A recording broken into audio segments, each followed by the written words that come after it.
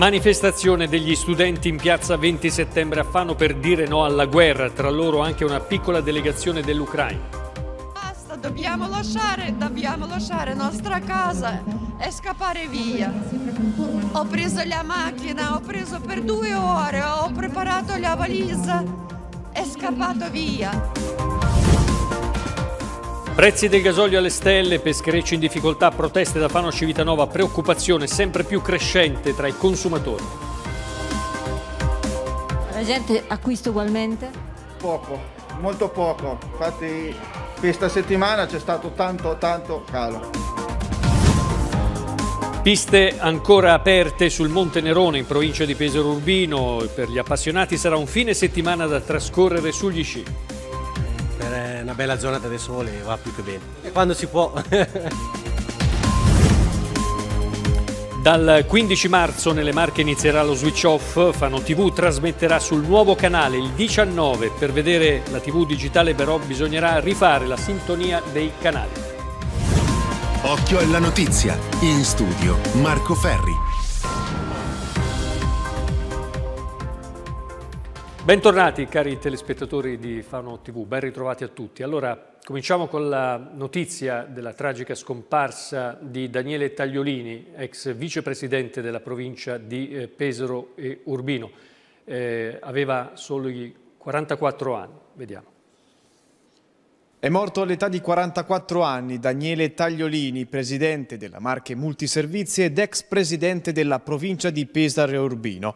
Dalla scorsa estate lottava contro un tumore allo stomaco. Nato a Sasso Corvaro il 22 ottobre del 1977, ha ricoperto diversi ruoli nel suo percorso, tra i tanti sindaco di Peglio nel 2004 per ben tre mandati, dal 2014 portavoce nazionale di Lega Ambiente per i comuni rinnovabili e da aprile dello stesso anno presidente dell'Ato. Ma sono tanti, ancora tanti, gli obiettivi che Tagliolini ha susseguito e raggiunto grazie anche alla sua grande esperienza, dedizione e tenacia. Nonostante la malattia, era sempre al lavoro e al servizio per il territorio. In tanti sul suo profilo social lo hanno voluto ricordare per la sua bravura per il suo impegno, tanto lo sgomento tra amici, parenti e il mondo politico. Tra i tanti sindaci a ricordarlo, il primo è stato quello di Pesaro Matteo Ricci, che lo ha descritto come un amministratore appassionato e lungimirante, un politico leale e interessato solo alla sua terra, una persona sempre positiva e soprattutto uno di quegli amici che ti coprono sempre le spalle in tutte le circostanze. Nel sito della provincia c'è ancora la pagina dedicata a lui con una delle sue diciture chiave. Non è importante chi fa gol o che opera si realizza, quello che conta è giocare di squadra ed avere tutti un obiettivo comune. Tagliolini lascia la moglie Giovanna e i suoi due figli. Una breve di cronaca, i vigili del fuoco sono intervenuti questa mattina intorno alle 11.30 lungo la Flaminia Fano per un incendio di materiale vario posto all'esterno di un'attività commerciale su alcuni eh, pallet. La squadra ha prontamente spento le fiamme e messo in sicurezza l'area. Sul posto presenti anche la polizia e i vigili urbani.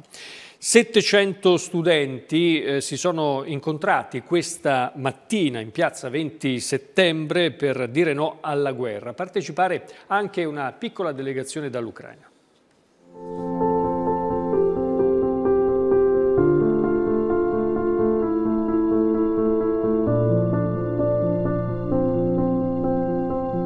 Sosteniamo la pace, no alla guerra. Guerra? No, grazie, vogliamo la pace. Sono questi alcuni dei tanti striscioni che oggi hanno campeggiato in piazza 20 settembre insieme alle bandiere blu e gialle dell'Ucraina. Nonostante il sole e un frizzante vento, sono stati più di 700 gli studenti che hanno occupato il centro della piazza per dire stop alla guerra attraverso un momento fatto di interventi, musiche e testimonianze. Un appoggio che i ragazzi delle scuole medie, superiori e licei di Fano hanno voluto dare all'Ucraina. Il momento è iniziato con il brano dei bambini del coro tra le note diretti dal maestro Giorgio Caselli. Voglio la pace,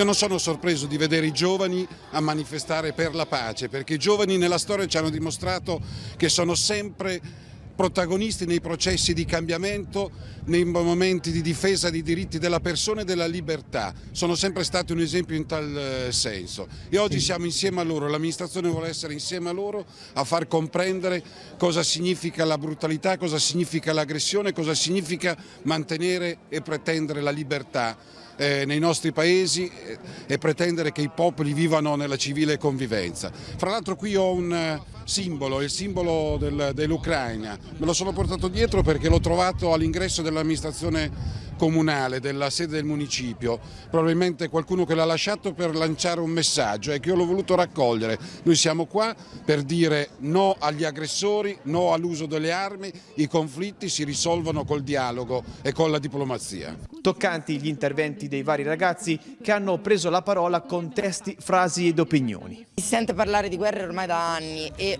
forse non è stato fatto abbastanza, ma adesso è arrivato il momento di partecipare, di partecipare attivamente e il nostro, il nostro, obiettivo è migliorare, andare oltre qualsiasi, qualsiasi beneficio che possa andare appunto uh, a favore del, di qualcuno, di qualcuno che, che decide per, per, i civili, per le persone che, che sono innocenti e quindi a volte è anche inutile forse produrre le stesse armi all'interno degli stati e professarsi pacifisti quando le stesse armi uh, messe in mano a persone possono uccidere vite. In questo periodo abbiamo capito una cosa essenziale noi dobbiamo capire, conoscere e riconoscere il passato per non commettere più gli stessi errori e per creare il futuro che, che vogliamo poiché in questo periodo ci siamo anche scoperti fanesi, italiani, ma soprattutto ci siamo scoperti semplicemente umani e infatti noi umani dobbiamo semplicemente ballare, non dobbiamo tirarci le bombe. Dopo le parole degli studenti, una comunità dell'Ucraina presente alla mattinata ha cantato l'inno del proprio paese e urlato dicendo fine alla guerra.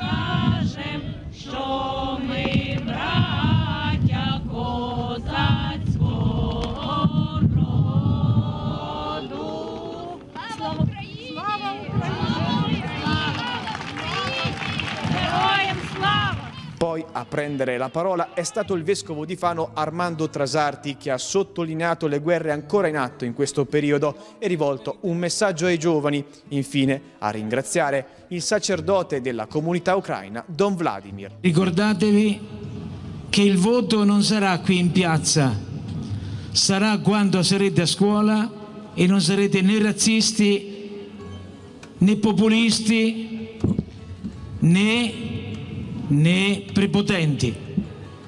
E dico anche alla società civile, fare l'inno alla pace va bene, ma quando poi vi riunite nel Consiglio Comunale non vi scannate, perché no, non credono i giovani. Quando fate il bene di tutti, fatelo con criterio di umiltà, di pazienza, di tolleranza, di verità vista dall'esterno e non per interesse particolare. L'Ucraina usano le armi, i carri armati, che fanno uccidere la gente, i giovani, le mamme, i bambini anziani, il popolo, le case, gli ospedali, è vero. Ma oggi voi avete usato l'arma più grande, che non uccide, che non spara, che non distrugge, ma che vince il diavolo. Quello che è il capo del male. E oggi davvero vorrei iniziare in nome della nostra comunità. Preghiamo, lavoriamo per la pace. E questa pace verrà perché Dio è il vincitore. Dio ha vinto la morte. Con la sua risurrezione vince il peccato, il diavolo. Viva Ucraina! Viva Ucraina! Viva Ucraina!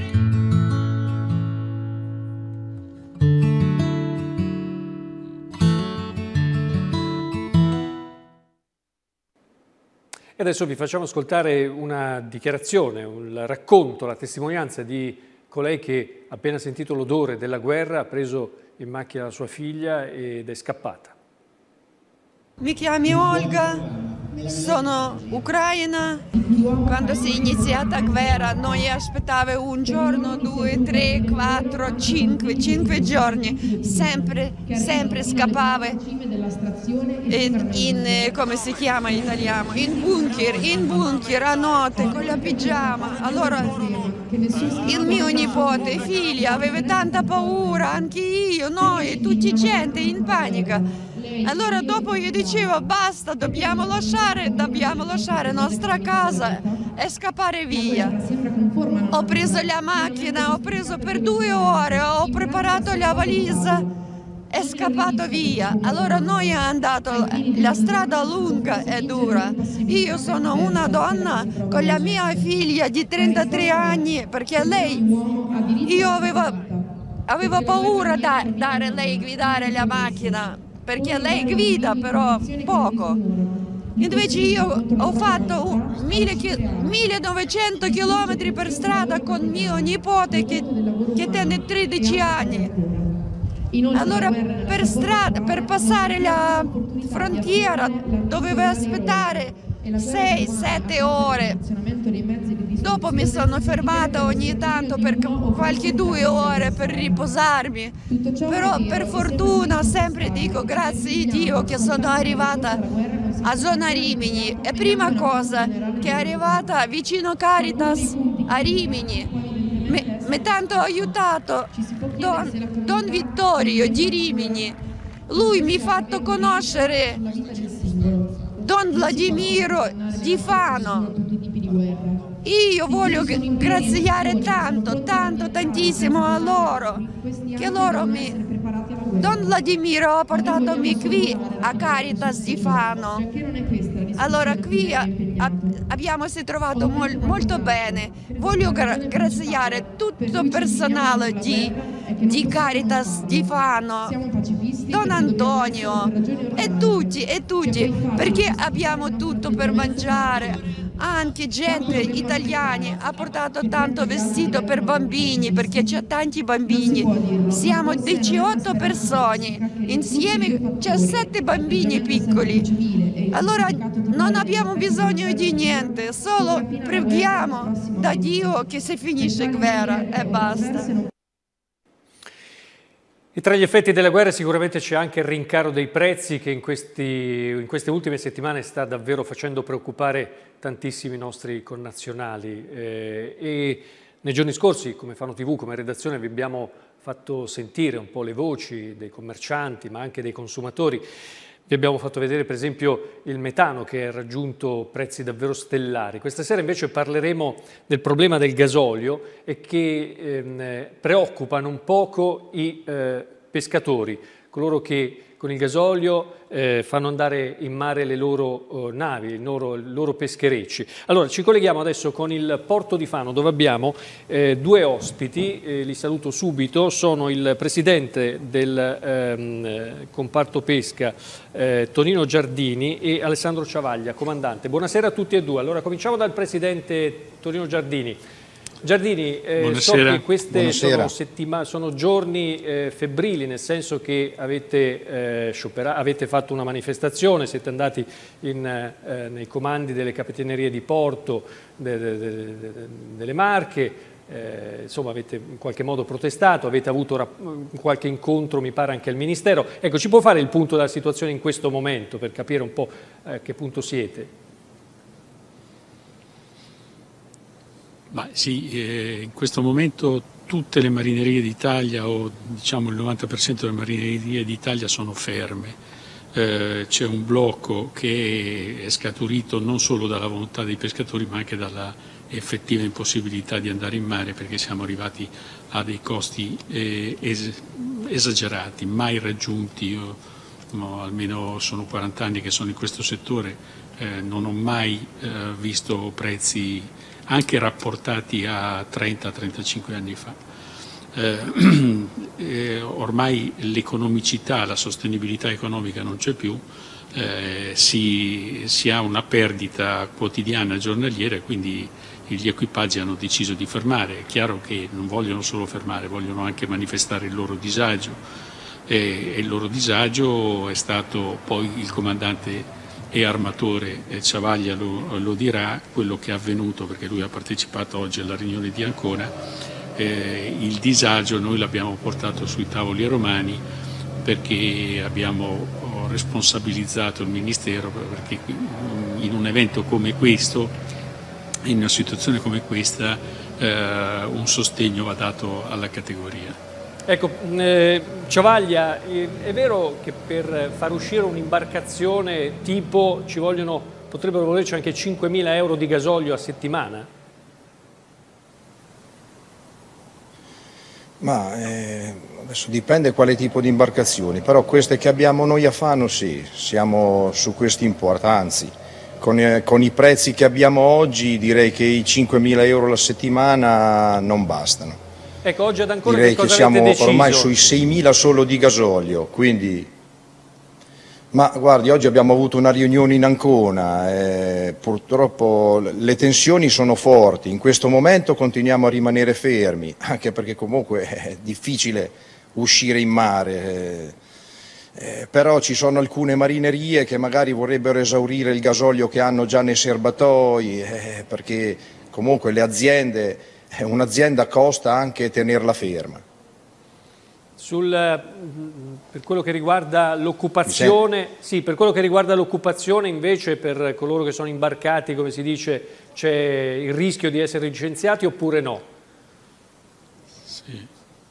Ma certo, eh, noi per il momento ancora con le aziende abbiamo deciso di rimanere in armamento, quindi di tenere il personale imbarcato.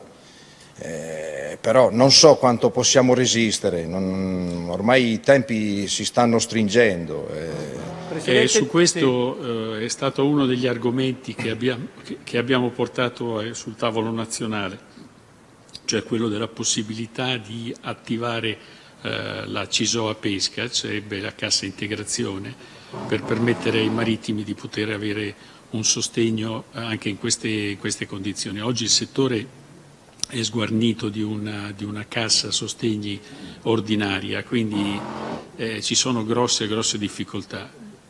Ecco, senta... in più eh, va sì. anche ragionato questo, che l'Unione Europea ha limitato le, le, giornate di pesca che ormai sono intorno ai 130 giorni di media a secondo del, delle categorie e quindi questi equipaggi di, a volte devono fare eh, spesso, anzi devono fare reddito per 365 giorni per mantenere gli equipaggi con solo 130 giorni di operatività. Ecco, eh, senta Presidente, per quanto riguarda la massaia che ci sta ascoltando, che domani vuole andare a comprare, visto che è sabato, il pesce al mercato, eh, che cosa eh, possiamo dire a queste, a queste persone che eh, appunto eh, ascoltandovi eh, sono preoccupate? Che il nostro pesce non c'è e che se trova trova solo eh, prodotto di importazione, visto che ormai eh, il 78% del prodotto che consumiamo in Italia è prodotto di importazione, però i cittadini devono sapere che un piatto su cinque è italiano, gli altri quattro sono, li, li definirei tarocchi. Eh, quindi, quindi eh, il consumatore deve essere cosciente che domani non può trovare pesce italiano. E questo secondo lei per quanto tempo ancora? Eh, ma guardi, è, lo, de- è lo dice il comandante. È, è, difficile stabilire ancora qua, quanto, quanto, può durare ancora. Eh, certo, eh, noi speriamo nei primi della prossima settimana di avere qualche, qualche, riscontro da parte del Ministero delle Politiche Agricole, eh, di avere qualche riscontro di qualche sussidio o un sostegno, delle azioni che, dirette eh, in breve tempo che ci sostengono e ci permettano di riprendere il mare. Però oggi stabilire i tempi è molto difficile, eh, molto difficile. Ma stanno dando soldi a tutti, non, non, perché non darli anche al comparto della pesca, voglio dire, non capisco. Ma sì, eh, esistono dei vincoli eh, che ci derivano da Bruxelles, quindi non ci può essere un contributo diretto sul gasolio. Si sta pensando, come dicevamo, un sostegno alle imprese, eh, la, il Ministero ha annunciato la messa a disposizione di un uh, fondo speciale mh, a, a, ovviamente a valenza nazionale di 20 milioni di euro, in più, in più stiamo spingendo sul Ministero del Lavoro per attivare questa, la cassa eh, integrazione, la, la CISOA. Bene, allora grazie ai nostri ospiti, eh, noi adesso andiamo avanti con il telegiornale. Eh, L'aumento dei prezzi a cui stiamo assistendo in tutti i settori sta, come dicevamo, avendo ripercussioni anche sul mercato ittico. Siamo andati a sentire il parere dei consumatori. In questi giorni abbiamo visto aumentare i prezzi del carburante, in più a questo si aggiunge in questi giorni lo sciopero dei pescatori. Questi fattori hanno fatto sì che anche il prezzo del pesce sia aumentato? E purtroppo sì, soprattutto per lo sciopero che il pesce se ne trova poco e la maggior parte è pesce di importazione o pesce come i gamberetti, roba decongelata e i prezzi sono aumentati, sì, anche, purtroppo anche per noi. Da dove viene adesso il pesce? Ma un po' di importazione, un po' da tutte le parti. Arriva anche pesce fresco, roba croata, come sogliole, merluzzi e altre cose. E lo sgombro uguale, roba croata, roba da fresca. E dopo l'importazione, spigole orate d'allevamento, come beh, quelle arriva sempre, ecco. La gente acquista ugualmente? Poco, molto poco. Infatti questa settimana c'è stato tanto, tanto calo. Ha visto dei rincari oppure più o meno il prezzo è rimasto lo stesso? Dipende dai settori, sul pesce non ho notato grandi rincali per il momento.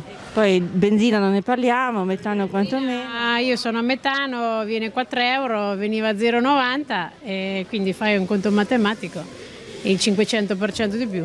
E cosa bisogna fare? Bisogna girare i vari distributori per vedere dove si risparmia? Sì, in grandi linee quello si fa. Ho comprato del pesce? Sì, il misto per fare del sugo, per il risotto. Ha speso di più rispetto alle altre volte? Mm, no, no, più o meno siamo in linea con i prezzi abituali. Ci sono dei rincari?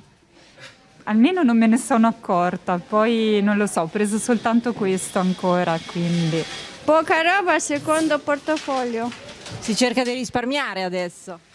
Eh, per forza, siamo obbligati a risparmiare. Su ordine di mia moglie, un chilo di vongole, detto alla fanese un chil de puras. Quanto ha speso come gli altri giorni oppure un po' di più? Devo ancora pagare, se non so esattamente, non vengo spesso, quindi... Ha fatto solo delle commissioni oggi? Sì, oggi una commissione volante, così. Comunque... Questi giorni sono anche degli rincari? Siamo in un contesto eh, politico-economico particolare, per cui eh, di conseguenza ne risente anche il pesce. Quindi la situazione non è semplice? No, speriamo nel tempo che le cose migliorino. La neve e anche le basse temperature stanno regalando agli appassionati dello sci eh, giornate davvero divertenti. Oggi siamo andati sul Monte Nerone, in provincia di Pesaro Urbino. Dal copuzzolo della montagna. Per una bella giornata di sole va più che bene città di Castello. E anche se tra pochi giorni entreremo nella primavera, eh, non è arrivato ancora il momento di appendere gli sci al chiodo perché qui a Montenerone si continua a sciare nel fine settimana e anche nella giornata di lunedì.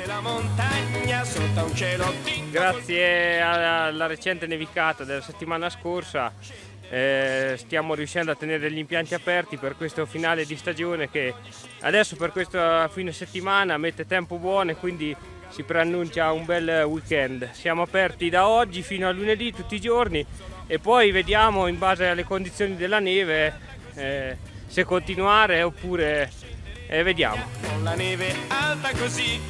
Vengono un po' dall'Umbria, dalle Marche, la, anche la Romagna. Noi abbiamo 5 piste e ne abbiamo eh, due rosse e tre blu, più il campo scuola, area bob.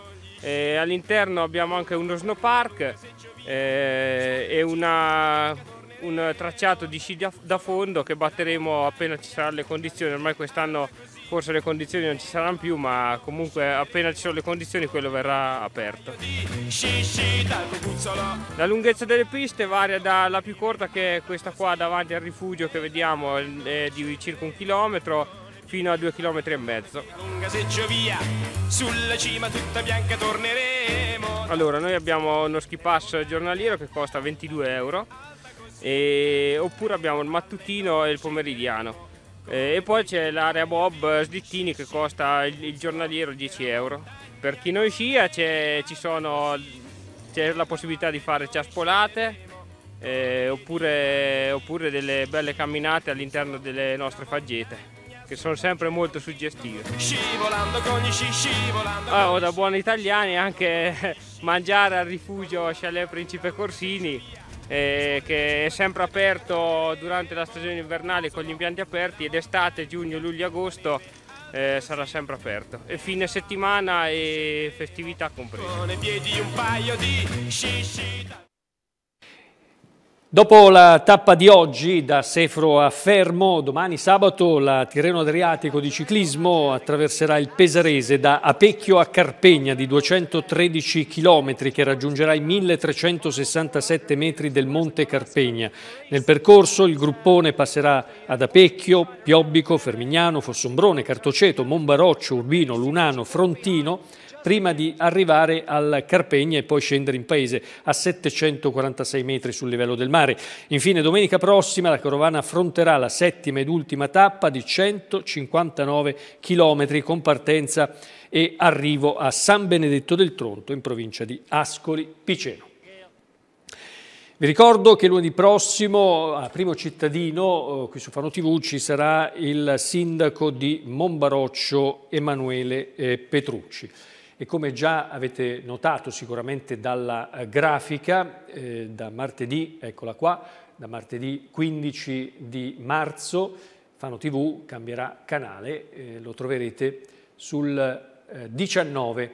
Questa è la comunicazione ufficiale definitiva che ci ha eh, dato il Ministero dello Sviluppo Economico, bisognerà fare la risintonia dei eh, canali, ma come sempre siamo a vostra disposizione per darvi eh, eventuali ragguagli e anche darvi una mano, perché no, eh, spiegandovi un po' quello che c'è da fare, ma comunque tutto molto eh, semplice, quindi dal 15 eh, di marzo passeremo sul canale 19. È tutto, grazie per essere stati con noi, arrivederci.